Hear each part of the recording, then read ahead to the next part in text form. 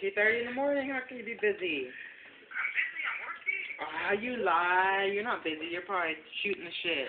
No, I'm, Bullshit. I'm mm. working. You lie. It's 2.30 in the morning. How could you be busy? I'm working at night.